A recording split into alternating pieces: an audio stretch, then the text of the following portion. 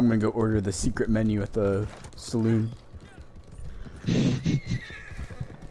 This isn't Burger King. Tomorrow at 4 p.m. we should all go to the Valentine Saloon and order the Fortnite whiskey. That is the most unfunny thing you've ever said in my career of knowing you. Excuse me, sir. Have you? Uh, is your refrigerator? Guys, have you ordered the Fortnite, the Fortnite whiskey?